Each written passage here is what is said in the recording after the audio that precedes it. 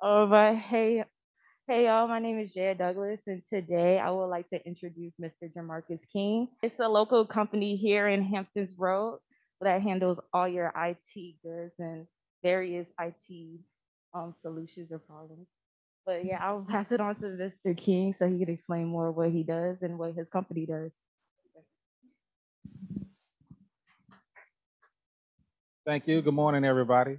Um, my name is JarMarcus King. As she was saying, I am the Chief Operating Officer for J&F Alliance Group. And today I'm here to guess talk to you kind of about the entrepreneurial journey from years ago to where I am today. So I'm, I'm glad to do that because uh, it has been a journey. A, that's exactly what it is when you're in business for yourself.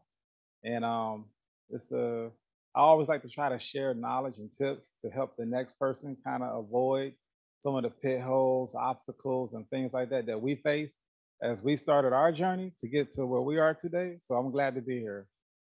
So um, our company is J&F Alliance Group. We're headquartered in downtown Hampton, Virginia. Uh, we specialize in software development. We have a specialty in augmented reality, virtual reality development um, as well as some machine learning, artificial intelligence, intelligence. We do traditional software development and mobile app development as well at our facility. Um, everything is done in-house. Nothing's farmed out to overseas or India. All of our staff are located at our facility. All of our graphic designers, modelers, all of our programmers. We do have some out-of-state programmers uh, we do also have employees that work on site at the government facility for some of our government contracts, uh, providing machine learning and artificial intelligence custom algorithm development. So I'll definitely talk to you more about that as I go through my presentation. So my background, um, my background is military. I actually joined the military in the 11th grade.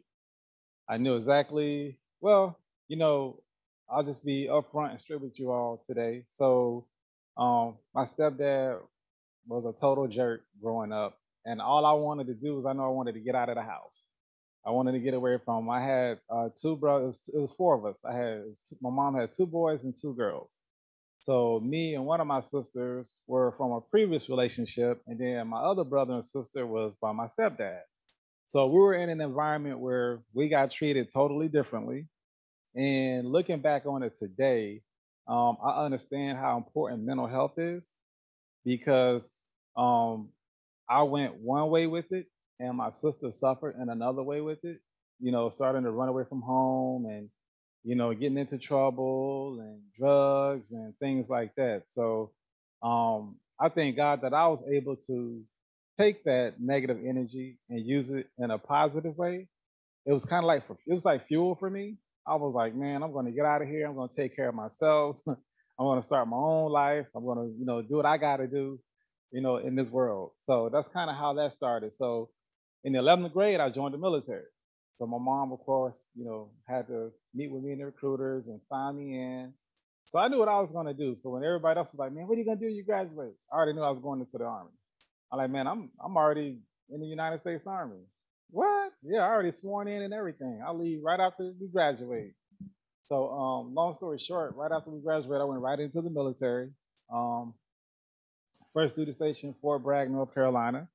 Uh, I enjoyed military is the best kept secret. I'm gonna tell you that now. A lot of people don't realize it, or they may have different opinions based on what they hear. But the military is a great start for anybody coming out of school as a young adult. I'm telling you, you really find out who you are in that process. You start to learn what you like, don't like, and what, what journey you want to take for as far as like a career industry. You just learn a whole lot. So I encourage all my kids to go in. Um, I got four and only one listen. So he's at Fort Hood, Texas right now. And he's actually, uh, I, I call him my son. He, he was from my my um, previous relationship. So he was already there. He was actually my stepson at the time, but he still calls me dad today. So he listened. He's like, man, dad, I should have listened to you a long time ago. I could have been in and been out by now. Um, but I did not go to college. I have taken college courses online, um, different certifications, things like that. And um, after I got out of the military, I did six years active duty. When I got out of the military, I worked as I worked for the government. doing the same thing I did when I was in the military, except now I make six figures. You know, hint, hint. So again, the military is a great setup. I'm telling you, benefits, um, you know, the special preferences you get on certain job opportunities. If you're a veteran, you kind of get a preference over other people. If there, if there is a government job you're trying to go to, they, they have like this rating scale. You get preference points. You might get like 10 points more. So that kind of helps you beat out your competitor who's also applying for that position. There are a lot of benefits and perks for being a veteran, I'm telling you. So um, I worked for the government for like nine years after I got out of the military. But in that process, I've had several entrepreneurial journeys um, throughout my military, while I was in the military, when I got out of the military, all the way on up to today. So I can tell you, I got a lot of different stories, good and bad, um, when it comes to being an entrepreneur. So who is J&F? Um, I was kind of talked about that already. We specialize. We're basically a small business uh, technology company located in Hampton Roads. Uh, we service both government and enterprise companies. Um, we've been in business since 2013. We love what we do. Um, we are a woman-owned, minority-owned, service-disabled veteran-owned firm. We have top secret clearances. So my entire development team has top secret clearances. So when we do do work for the government, we're all clear to that level. Uh, we also have, we're part of the NASA Technology Transfer Program where we take technology from NASA and we try to commercialize it into and, and incorporate it into our services and products. Um, that's been a very good success for us. Uh, we have a slew of government certifications that kind of help us out too as being a small business, and uh, we're all we're excited about all of that.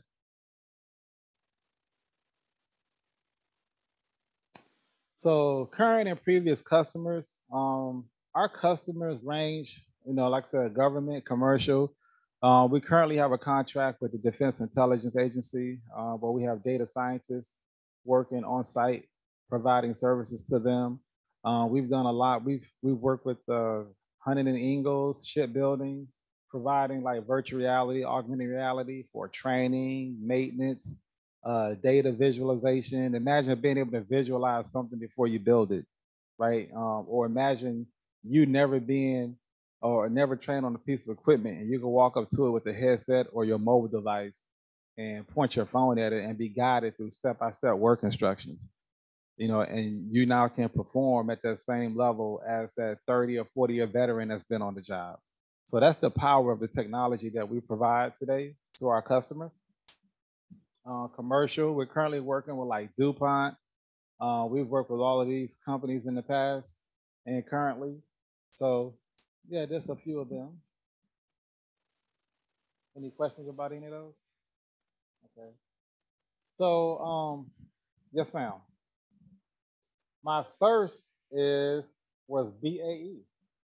BAE Systems was our first customer, and actually, um, on my I think on my next slide, on my talking points, I was going to tell you that story.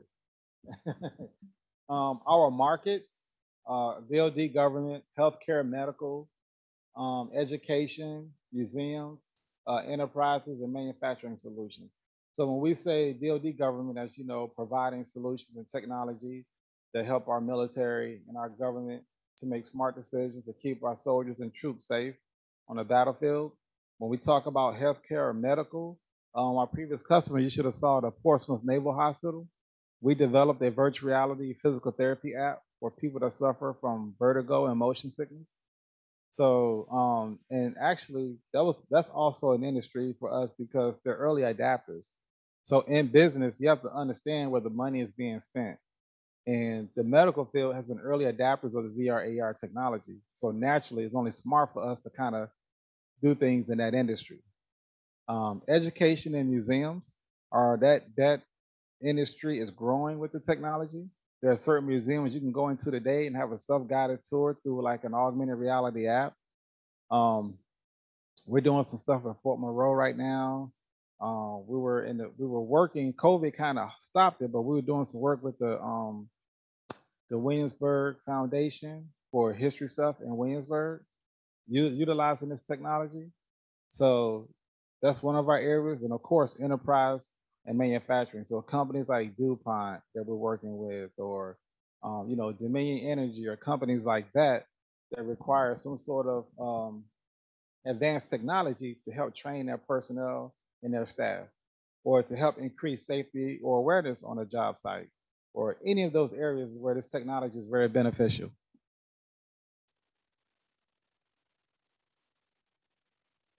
So struggles and successes. This is going to be a fun slide.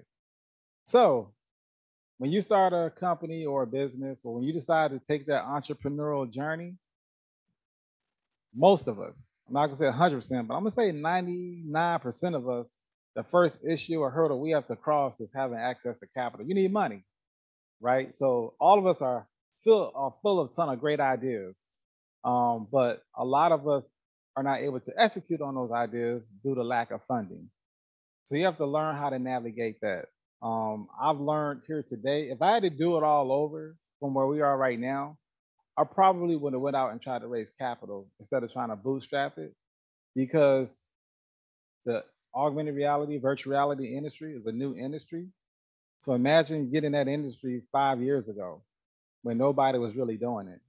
Um, it was very tough. And to be a small business and to move at the pace of the industry is very difficult. So if I had to do it all over again, I probably would I would probably go out raise capital so that way I can move quickly. Um, I read an article that my mentor shared with me that said you have two types of companies, the quick and the dead. Right. So if you can't move quick, um, and you need capital to move quick, you can find yourself far behind real quick. I don't care. Like I would say that five years ago, we're probably one of the leading AR VR companies in the world at that time. You know, and think about or imagine like uh, uh imagine a huge ship, right? So let's say I would consider ourselves being a small business. I would say we're a little small rowboat. And then let's say our competitors that we are, you know, faced with today, I will call them a huge, you know, gigantic ship. So for us to turn that little rowboat around and go in that direction, the opposite direction is easy. You have that huge, gigantic ship, but then to turn that huge ship around is a lot of work, right? So while they're while they while that ship was traveling in this direction, and we were able to see this ARVR industry will be very prominent, we turned our rowboat around and started going in the opposite direction. But we're going slow because we're in this paddle boat, right? So we're moving slow. We're trying to bootstrap. We're coming up with ideas. You know, we got a team in a lab. We're all working, brainstorming. But then you slowly see that huge ship start turning around right? And that huge ship to us are the big companies. It's your it's your Lockheed Martins, this your Booz Allen, this your, you know, your GEs, you know, those type of companies, right? So they're turning that boat, they're moving slow, yeah. But once they turned around and they turned those engines on, flew right past us. So that's why I bring up the the point about the two companies being, you know, quick and dead. Um, luckily for us, though, we've been able to establish ourselves as a reputable company in this industry, and we get phone calls and emails all the time of people interested in our services. So it didn't put us out, um, but however, it does make it that much more difficult for us to grow our company, gain new customers, generate revenue. Um, business knowledge for me personally it's just over years. It's trying different business opportunities, and each one I've done, I've learned something different. I'm talking anywhere from home-based businesses I've tried, um, all the way into having like kiosk in malls. I remember in 2008, I opened up an airbrush tattoo shop in a mall in North Carolina. I had my I did my first location um, right outside of Gastonia. I did my second location in Charlotte, North Carolina in uh in North Lake Mall, and then I ended up opening a third one in Alabama at the time. So you say airbrush tattoos, man. At that time, it was popular. I launched the business like around April, is when I opened up news. I was in the newspaper. Everybody, all the mom parents were bringing their kids up to the mall to the kiosk. We're doing, and these airbrush tattoos last like two to three weeks. They were like eco-friendly, you know, no hazardous chemicals or anything. So you could bring your little daughter up and I can put a butterfly on her shoulder and charge you 10 or 15 dollars, right? So imagine a line all day at my kiosk. So I'm like, man, we're doing good. We got this. So I'm hiring people. I'm, I'm working with young people. I'm hiring like young people to work at my kiosk with me. So I'm like, yeah, we doing good. So I had this big plan of opening up like a huge like uh, storefront one day and expanding to different states. So towards the end of the summer, I started noticing business slowing down real fast. Then school went back in, business slowed down real fast. Then October time came and it's cold. Nobody's showing their arms and legs, right? So then I realized, wait a minute, I got a seasonal business. This is not anything that I can that can I, I can sustain year round. So I was smart enough during that time to pivot. So then I pivoted to like birthday parties, bar mitzvahs. Um, I got a contract with the city, working like the state fair. I started doing things like that, but now it became more challenging because now you just introduce a whole new level of dynamics, a whole new uh, level of logistics that are incorporated with it now. Um, not, I'm not even thinking about the legal part of it, going in people's houses. What if one of my people got hurt? Um, what if one of the kids got a hold of my air gun and did something crazy with it? So, you know, that's the whole part of it. But you figure those things out as you go. Um, but those are the type of things. So when you start a business, definitely look, learn your industry, uh, look at it very closely. Try to think about everything you can. Like, what are the worst case scenarios? What are the best case scenarios?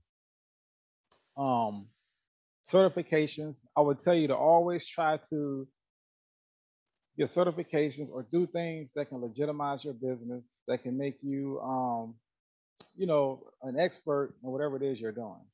So whether it's personal certifications, whether it's certifications for your business or your staff, always pay attention and look at that. And then the challenging part is finding talent, right? So you got this great idea, you may have this great product or service, but now you need people because you can't do it by yourself. That was one of the first things I learned in business or being an entrepreneur. You need a team. You need a winning team. There ain't no way in the world you can do anything by yourself. It's just, I mean, I'm not gonna say you can't. Some people do it, but burnout is real, right? So I seen those people, and a year or two later, they throw their hands up. May have made good money and everything, but you burn out. You have no life, no social life, uh, no time for yourself, your family, friends, whoever. So I would say always try to find good talent and uh, find a team. One of the best things we did was we found a mentor right? So we found a mentor who was very successful and not doing the same exact thing, but was doing things that kind of our, our businesses kind of correlate as far as like services and things that we were doing. So that mentor, very successful, 30 years in business, was able to kind of take us under their wing and teach us a lot more about business. Um, I would tell you that one of the biggest takeaways from my mentor is infrastructure. I don't care how good you are. I don't care how good your product is. I don't care how good your staff is. If you have a weak infrastructure, you will fail.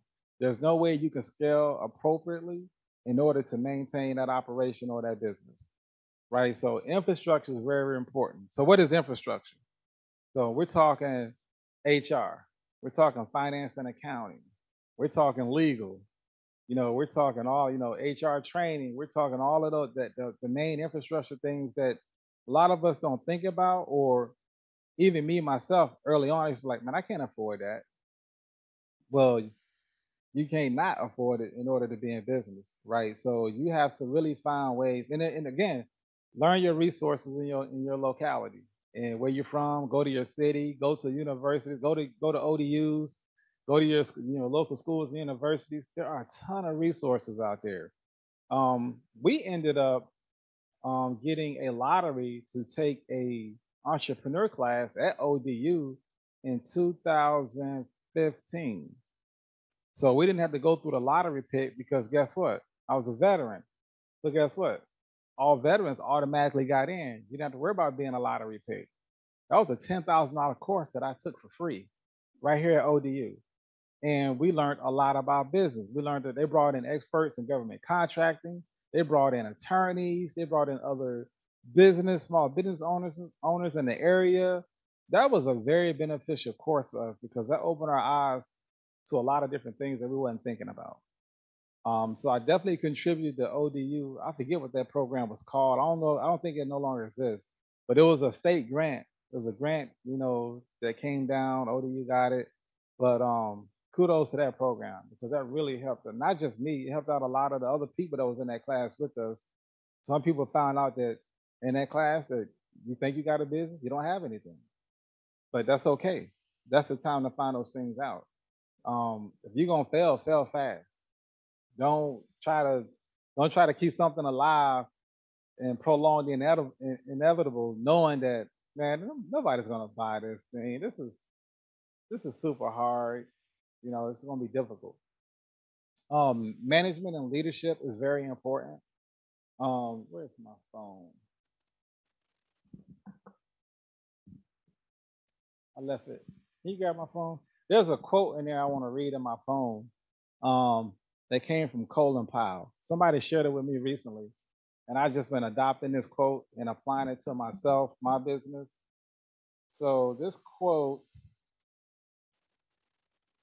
photos.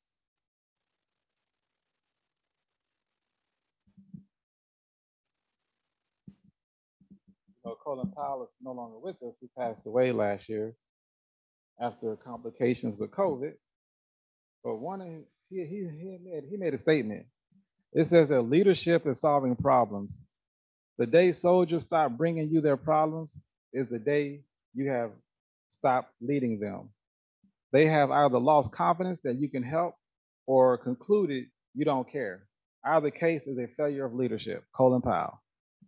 I read that and that was completely important to me. Um, I think culture and leadership is very important to any organization you have to make sure that your place of business is a place that people like coming to work. You know, people enjoy coming to work. They know that there may be challenges or adversities we face, but together we're all we're all in this together. We're going to support each other. We're going to stand by one another. We're going to work very hard, and we're going to come in every day and do our best. And a great leader understands that. A great leader listens, uh, you know, evaluates, um, and makes themselves available to their workers or their team. So I think uh, management and leadership is very important. Um, if you don't know how to lead, it's okay to say so. Um, again, it's about resource management. It's about resources. There are a lot of resources in the community that you can go to. I'm talking anywhere from anywhere from workforce development to SCORE is a great one. It's a free service that anybody can go get accounting classes from, how to set up your books, you know, all kind of stuff, how to write properly write a contract. All of those things are there, are, are out there. So definitely just do your due diligence. Um, ask questions. Don't be afraid to ask. A closed mouth don't get fed, right? So uh, tuck that pride away, uh, tuck the shyness away, and don't be ashamed to come knock on somebody's door and say, "Hey, I need help. I don't understand how to do this." I do it all the time. If I don't know, I'm not going to pretend I know. So the other one is, um, I would say, protecting IP and proprietary information. If your product or service is something unique to you or something you created, it is very important that you protect that. Um, and again, that could be costly depending on what it is, but there are ways to do so. So um, definitely, I've seen where people have something proprietary. I've seen they protected it so much they can't do no business, right? They're not getting any business. So there is a fine line it. You have to be very careful. I remember I went to a seminar in Virginia Beach, and the founder of MapQuest was there. And the first thing he said was, um, if I have to sign an NDA to talk to you, I don't want to talk to you. And I didn't understand that at first. I'm like, well, an NDA kind of helps protect my idea or concept. But then when you really look at it, what he's saying is, if you're coming to me for help, you know how many people come to me for help? You know how many NDAs I have to sign every day? I'm not going to keep up with that. Either you want the help or you don't, right? So because he runs an entrepreneurship center down in um, it's in North Carolina, um, a huge a huge entrepreneurship center there. I think outside of Raleigh in that area in the research in the research triangle. But uh, they deal with entrepreneurs every day. It's a huge program.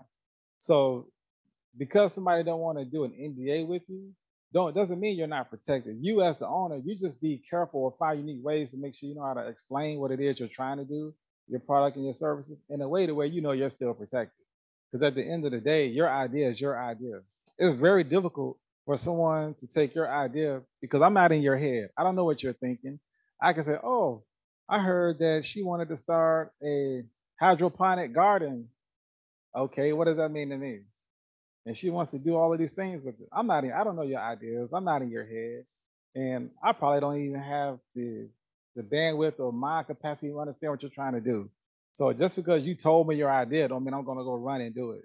And even if I try to run and do it, nine times out of ten, I'm gonna fail anyway. Right. So, but um it is important to protect your IP your intellectual property or any proprietary information related to your, you know, unique entrepreneur, you know, product, service, whatever it is you want to provide. And again, like I said, developing a winning team. Um, I remember a few years back, we had a really good, talented team, but it wasn't the right team. Um, and it came to a point where we pretty much had to do a reset. And bringing a whole new team. That was very difficult. It was very challenging, but it was one of those things where um, do I sit and cry about it and focus on what to do, how you know what I should have did, what I could have did, or do I take that time and energy and I regroup and I make myself stronger than I was before? And that's exactly what we did. Um, you know, the previous crew was very talented, was very good, but at the end of the day, you know, God has a plan, and everybody has their season in your life. So always remember that. So just because you may start out a business with somebody, don't mean you're gonna end in business with that person, right? So if you kind of mentally prepare yourself for that, um, that'll help you out, you know, throughout your you know entire entrepreneur journey. Just know that you know everybody is not meant to be where you are. Everybody is not meant to be an entrepreneur, and some people need to dig deep within themselves and understand that. So as bad as I want to start this business, am I the right person to do that? And I got people, I know people that have found out in that journey that, hey, you know what? Running a business is not for me because it does take a certain type of mindset and mentality, right? It does take, uh, you do have to come out your comfort zone. There are a lot of risk involved. So it does make you uncomfortable. And if you're not comfortable with being uncomfortable, it can be very challenging to be an entrepreneur. The, there are a lot of lonely nights. There are a lot of a lot of sleepless days. Um, I mean, I can go on and on and on. I remember the days where I was doing 17, 18 hours a day trying to get the company off the ground. Uh, up all night, trying to learn how to write a proposal. You know, trying to understand this government database and how it's so difficult. But then I learned there's resources for that they have these they have these offices all around the country where you can go get help for that. Why am I trying to figure it out? There are people out there. So then I got smart and I go, I do my best to find any resource I can first before I try to do something myself because they're out there. So you learn to work smarter and not harder, you know, as you go, you know, go down that journey of being an entrepreneur. Let's see. So successes, this is me in the White House. Our firm got awarded the top minority technology firm in the United States. And we got called to the White House to, you know, President Donald J. Trump issued us that award along with um, Secretary of Commerce Wilbur Ross at the time. So great accomplishment. Um, not, you know, you typically don't talk politics and business, but I did not vote for him. But uh, it still was a great achievement. I would say so to being military and to me, you just respect the office, regardless of who's in it. Um, we're going to have some good ones, we're going to have some bad ones, but at the end of the day, we all need to stay and try our best to remain united. So, although a lot of us didn't agree, or some of us did, some of us didn't agree with a lot of things we were doing, at the end of the day, it's us as the people need to come together and stick together and remain united for ourselves, for our families, and for our friends, and for this country. So being a veteran, I understood the and respected the office. There were people who denied going when we got. I mean, one guy didn't have a choice. Um, this individual um, was the top minority firm for franchise. I'm not gonna say the franchise name, but for a franchise that we all know and have eaten at around this world, around this country. Um, their board called him the day of the event and said, "You will not go." Now, why would they do that? You know, they say you're not supposed to talk politics and business, but that particular franchise knew the potential negative effect it could have had on their entire corporation due to all of the things that were going on in the country at that time. So I sat back that day and I was like, man, like, why would they do that? Why would they stop him from going out and getting this, you know, highly achieved award? But then when you think about it from the company's aspect, they said a lot, you know, I'm like, okay, the last thing they want is people protesting, people quitting, people on social media slamming them because of that current climate that we all were living in. It was just a very clouded, you know, political climate at the time. Um, and it was just so then from a business standpoint, you think differently. You know, if I didn't have a business, I'd be like, oh man, that's that's crazy. Why they do that to him? Um, but when you own a business, you have to think differently. Um, your actions are definitely different. You're more open-minded to things. Um, you try not to be so judgmental. Um, you try to find the reason and why things are being done. And I, rem- I remember even just being an employee sometimes we were like, man, why we gotta do this? This is dumb. This is so stupid, right? It don't make sense. I mean, some of you all probably do that now. Why, why is my professor making me do this? This is like dumb. But it's because there's a there's a bigger sight picture that you don't see. So then when I've even when in the military, when I first went into the military, I'm like, man, this is dumb. This is stupid. Why do we have to do this? But then when I became a non-commissioned officer, I'm like, oh, okay. Now I see why they was making us do this. Um, and it's just one of those things where, you know, um, everybody doesn't need to know everything until a certain time, right? So things may seem stupid or dumb or doesn't make sense to you today, um, but trust me, there's always a bigger picture or a bigger plan or a bigger mission that's bigger than you and your understanding. And when you realize that, you start to see things differently. So, um, some of my talking points Marketing strategy, didn't have one. we did not. Um, our industry was so new. The industry is still new to this day. Um, the augmented reality, virtual reality industry is ever evolving. Um, some of you may have heard or know that Facebook is now Meta for the whole metaverse. So virtual reality and augmented reality play directly into the metaverse. Um, and still, what does that mean?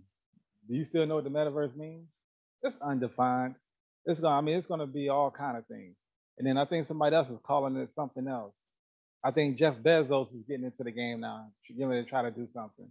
So it's all it's a it's a ever evolving industry. So although we're like the technology is not new, it's just been enhanced due to you know um, the computing power you know, this, your device on your hand is so powerful now. So because the computing power is there now, it's making the technology uh, more accessible to the regular everyday person, uh, right in your hand in your home, versus before only large enterprises or the federal government could even, you know, do anything with this technology. So it's becoming more of a commercial, you know, software, you know, product uh, and technology. So that's the reason why you have the AR VR industry today. So we did not have a marketing strategy. We just kind of did the best we could to follow the industry um, and to adapt when the industry adapted. We had to pay very close attention and see where things were going. Like I said early on, you know, medical was the first adapters. I think Microsoft, the HoloLens was the first augmented reality that has that commercial that was on TV. So you got to follow that. It's like now the government um, awarded Microsoft like a I don't know, I think it was like a three or four billion dollar contract to utilize the Microsoft HoloLens, which is an augmented reality headset for our troops. So knowing that, guess where I'm focused on Trying to see, okay, they got to buy the, okay, they bought those headsets. Somebody got to develop the content and software to run on those things. So quite naturally for me, I'm focused in that area because I'm staying close to my industry and I'm seeing what's going on. So if you're an entrepreneur, you always do that. And I think too, a lot of people think that because someone else exists is doing the same thing you're doing, uh, that's no, don't don't don't discount yourself. Just because somebody else is doing it, there's a lot of different ways to do a lot of stuff. There's a lot of different companies that make TVs. There's a lot of different companies that make cars, you know, so don't discount yourself because somebody else is doing what you're doing. Again, you have your own drive and motivation and your own why on why you're doing something. Um, you go to you watch Shark Tank. The first thing they say is, "What's your why? Why are you doing this?" Most people have a very good story on why they're doing something. They're not doing it just to be doing it. They have they either, they either had a sick child who was suffering from something that gave them that business idea. They either had a sick parent, you know, or something to that effect. So a lot of business ideas come from that. Um, our first customer, our first customer was BAE Systems. So this is a really good story. So in 2016, um, I went to DC. Uh, me and the guy were friends now. There was an event going on called Switch Pitch. Switch Pitch was an event where the big companies, instead of small businesses pitching their company to the big companies, the big companies were pitching their need to the small businesses. That's why they called it switch pitch. So heard about it. I registered. I think it was like fifty dollars or seventy-five dollars, plus you know that three-hour drive from Hampton Roads to DC. So the crazy thing about it was that day before, um, I was already in DC for another event.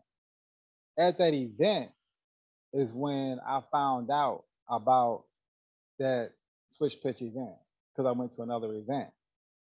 So that event ended at like nine, eight, nine o'clock that evening.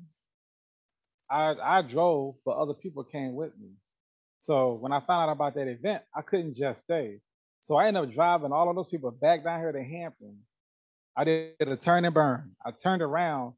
I got I got home probably, man, I probably got home one o'clock in the morning took a quick shower, changed clothes, and got in the car and drove right back to DC to attend this switch pitch event. That's how determined we were to try to like get business and get, get our first contract. Well, BAE was one of the companies at that switch pitch event. So you get there, you check in. It was right there in the Rosslyn Center in DC, if you're familiar with you know DC at all. So we go in and I got like my little demo kit and everything with me. And the guy that's hosting the event says, whoa, whoa, whoa, whoa, hold on. What are you doing? I said, well, this is my demo kit. He was like, no, you don't need none of that. All you need is like um a notepad because you're only going to have like five minutes to like stand up and kind of like it's going to be like a speed dating session. So the big company is going to be on the stage. They're going to pitch you your need, and then we have these little round tables where we're going to do like speed dating. You got like two or three minutes at each table and that's where you're going to pitch your your capability to the company. I said, um, man, I said, but what we have, you just can't tell it in words. People got to see it. He said, I understand, but you can't bring that in here. I said, okay, no big deal. I walked out. I thought to myself, I said, man, people got to see this. There's no way in the world, like nobody gets until they see you. So I saw that he had walked away from the check-in table.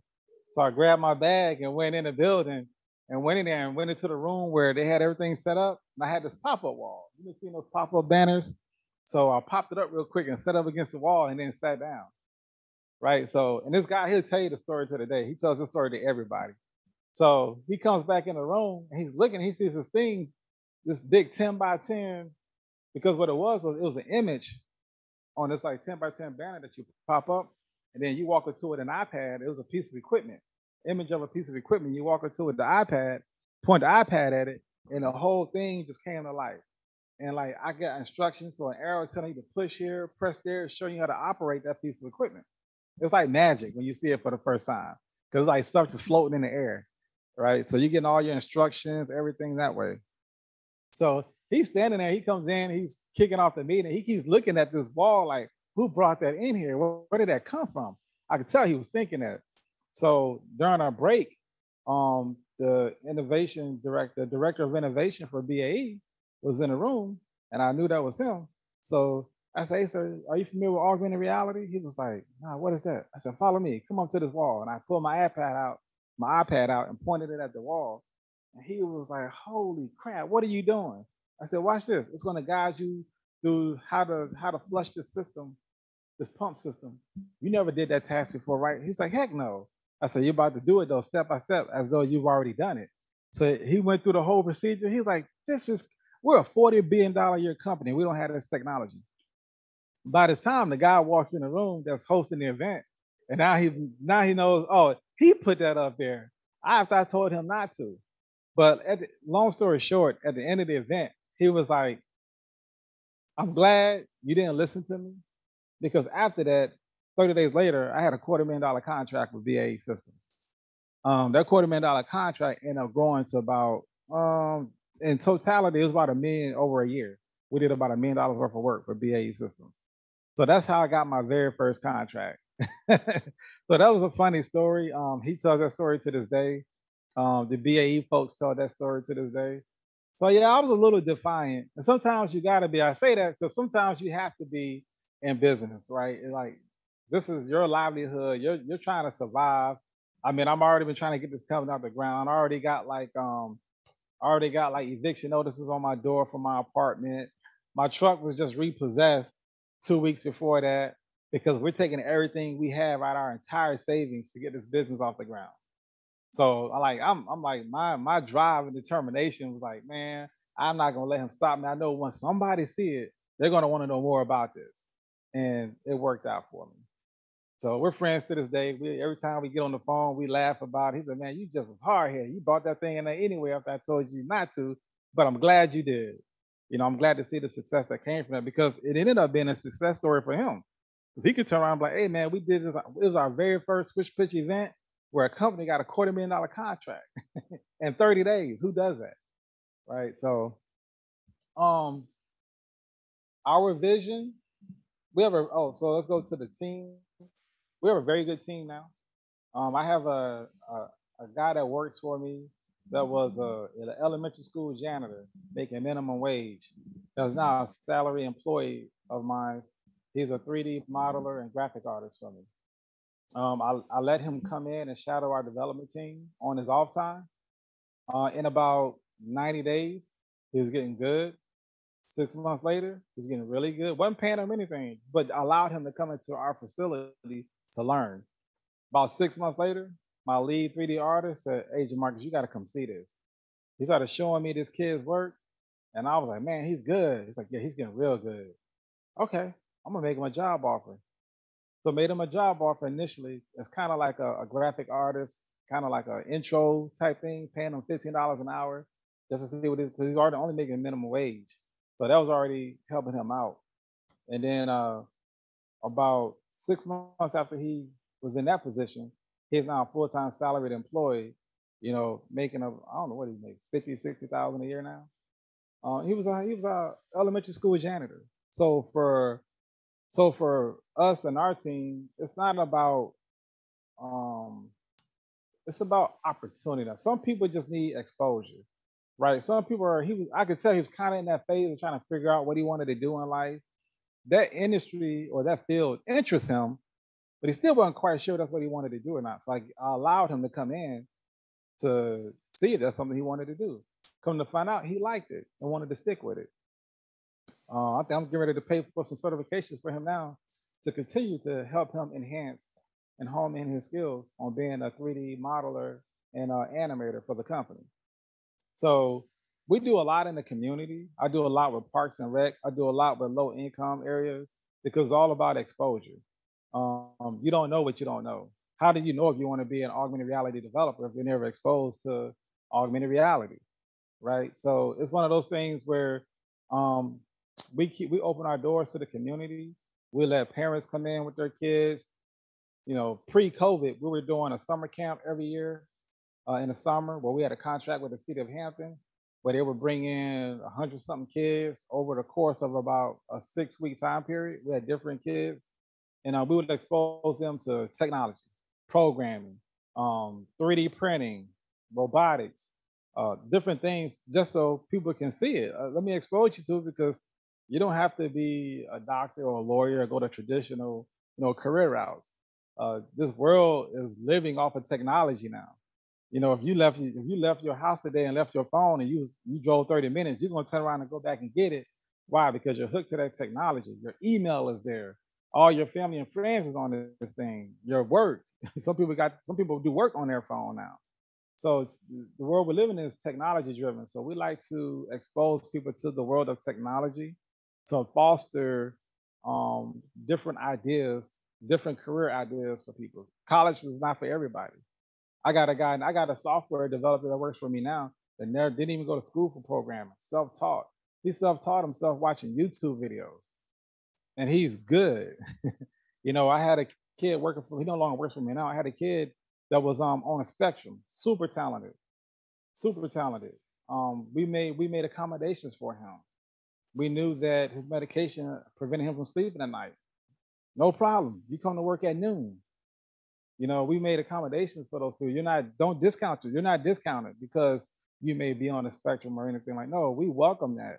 So we actually had, in fact, I think most of my staff they'll openly tell tell you they're either ADHD or something to that effect. Um, so what? It doesn't matter. There's no stigma here. If you have the skill set, if you want to learn, we're going to let you in so you can learn. And that's how our company operates. Um, we're our doors are open to the community. Um, we're very welcoming, and we just try to we find different ways to give back. That's how we operate.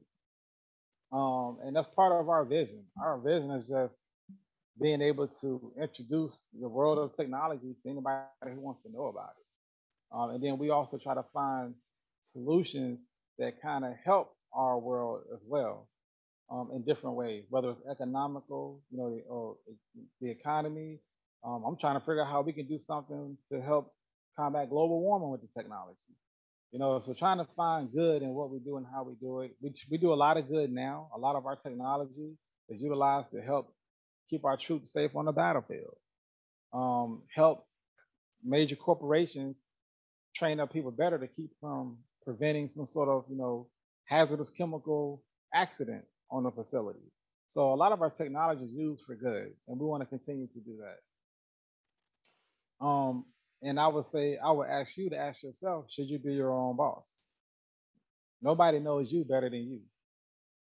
Um, so like again, like I was saying earlier, there are some people who want to take that entrepreneur journey, and then they find out they're not built for it. That's okay.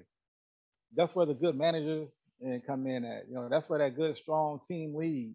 Hey, I I don't want to run a company, but I know my stuff and I'm good at it, and I can lead a team of people in performing that task or job. Great, that's where those people come from. So, should you be your own boss? You answer that question. You may not even know today. You might not know until you start the journey. And then you may not find out until you're into the journey that, hey, this is not what I want to do. This is, nah, it's too hard, it's too stressful. I just want to come in, contribute my part, and go home and be with me and my family. And that's okay too. So, any questions? Hope I wasn't too long winded or anything. I try to give you like the real, like be open, honest about everything. So, yes, ma'am. Um, currently, my favorite project is a product, a software product that we are developing called Memik. M E M I K. It's an augmented reality dance app. Um, a partner of mine, our both both of our companies, it was a COVID project. Once COVID hit, my partner called me. He's in Atlanta and he owns a tech company down there. And he says, Hey man, I got this idea. You guys do augmented reality. Everybody's stuck in the house. Well, we found a cool way, similar to TikTok, but what if I could project my avatar in your living room and I'm dancing with you in my living room? And I'm like, okay. He said, You guys do augmented reality. He said, hey, why don't we team up, man, and try something? So, all right. So all of 2020, we were my team, his team, we all got on a conference call and we all started started talking about this idea and how it could be done. Um, a couple months later, we had a really good concept of it. By that December, we had a working prototype. Um, we did a soft launch, so if you Google Memik, you probably see some of the old stuff. It was around Christmas. We had Christmas songs in there. And basically the way it works is I can record you with my phone doing a dance. through the Memik app. It takes that video, sends it to our server, processes it, and in about a minute, minute and a half, you get a notification back that says, hey, your animation is now ready. It turns that dance into an animation. You can then either create your own, build your own avatar, or select one that's already in the app and attach that animation to one of the characters, project it in your living room through your mobile device like a hologram, not a person's. Now, that character's doing that dance you just made up right there in the living room. That's how it currently functions.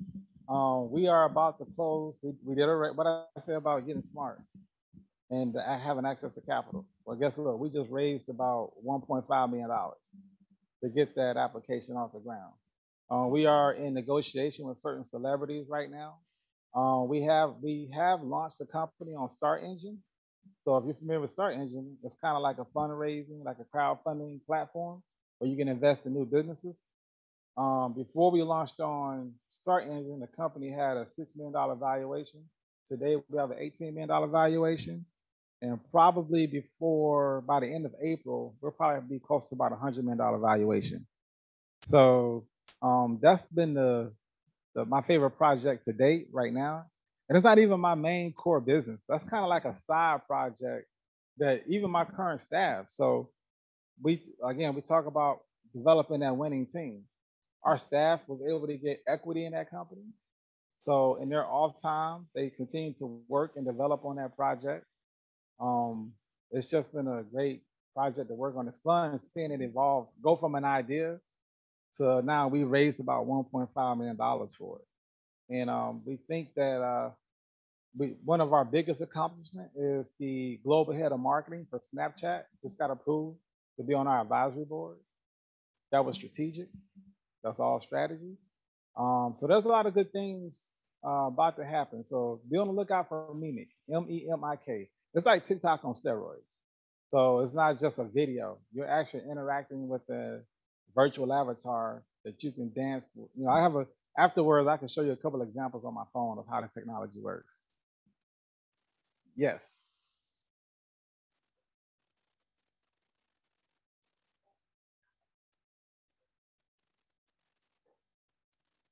Mm-hmm.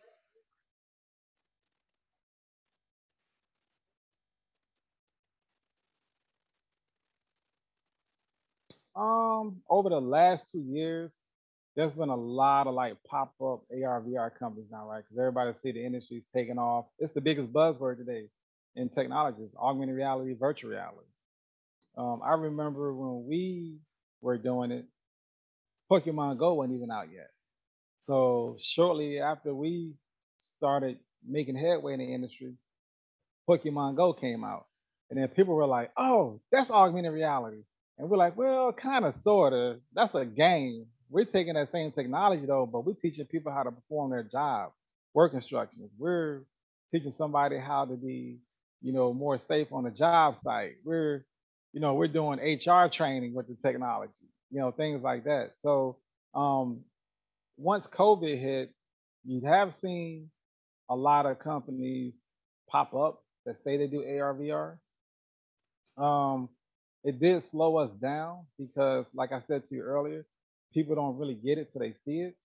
So COVID prevented us from doing a lot of traveling. Um, I stayed on the road a lot, doing like you know uh, demos on sites.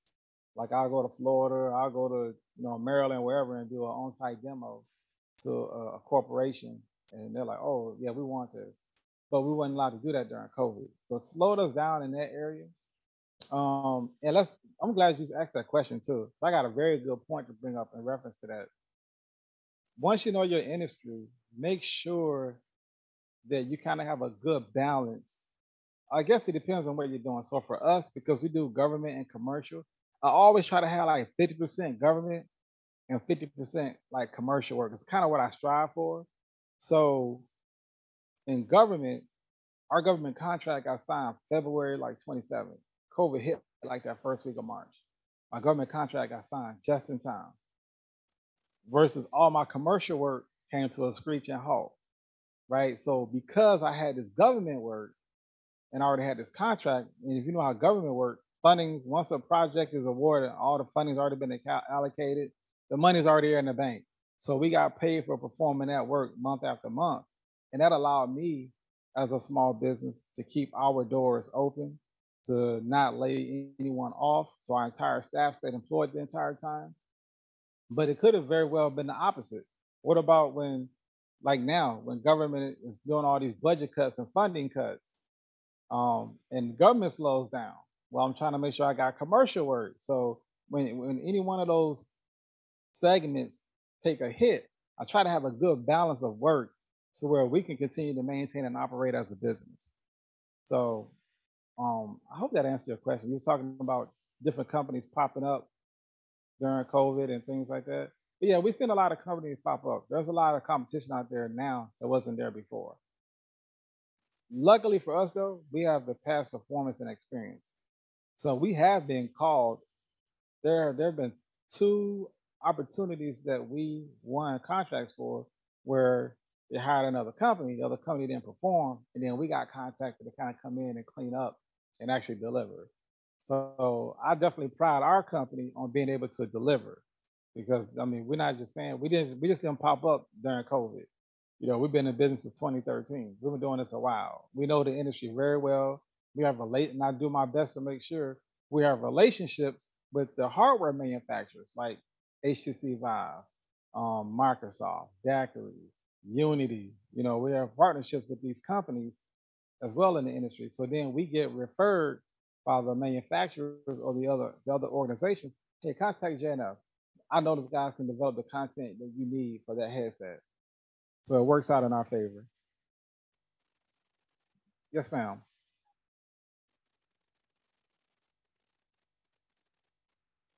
Um, if you select the right family members, it's a good thing. um, I do. I have my aunt. She's a admin to the CEO. Um, and just so y'all know, the CEO is my wife. So she's the woman owned, minority owned, sorry to say, a veteran. We're both veterans, but um, so she's her admin. Um, it's good because family always, the right family member always has your back. So she's always looking out. Hey, you need to pay attention to this, or hey, you need to go correct that or you know something to that effect. So it's been good. Um, when you have to fight the right family members, I've seen it go bad real fast when you don't have the right family members. So, but no, it's been really good. Yes. I can't hear you. Um, we have made games before. Yes, we made games before for people that's not like our go-to, I guess, business strategy. Um, but we have. I guess you can say, I guess you can consider a Memik a game in a way. Mhm. Yes. Yeah, you can.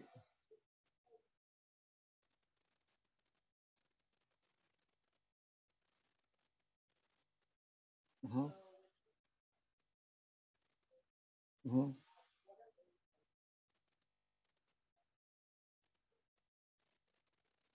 Um, I try to I try to do things outside of my core business. Like um, me and my friends now launching a cigar company. So I'm integrating technology into that. There's a reason why I'm doing it that way. Um, I try to do other things to keep me busy that I enjoy doing and that I have fun doing. I have fun with that company. It's another side project, but I have fun doing it.